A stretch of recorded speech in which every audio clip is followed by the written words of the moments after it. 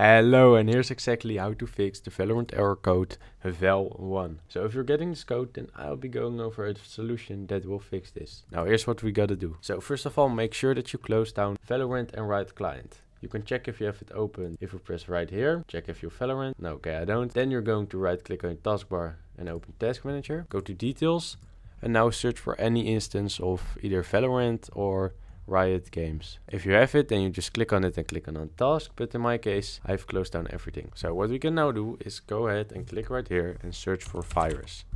Then open up virus and threat protection. Now you should click on firewall and network protection. Click on allow an app through firewall. Click on change settings and now you can click on allow another app. So we will have to click on browse and now we will have to search for our Valorant. So in my case it's downloaded on the C file, but if it's on the D drive you can, uh, in my case I downloaded Valorant on the C drive, but if it's on another file, it's on another file. So you should normally go to the C drive and then click on Riot Games, open Valorant, click on Live. Now go to Shooter Game, go to Binaries, and then open this. Here you should see Valorant Win64. Click on it and then click on Open. Now you should click on Add and you should search Valorant uh, right here. You can see here have Valorant and make sure private and public are both allowed. When you've done that, you can click on OK and now close this down and check if Valorant works. I hope this fixed your problem and I would say See you next time.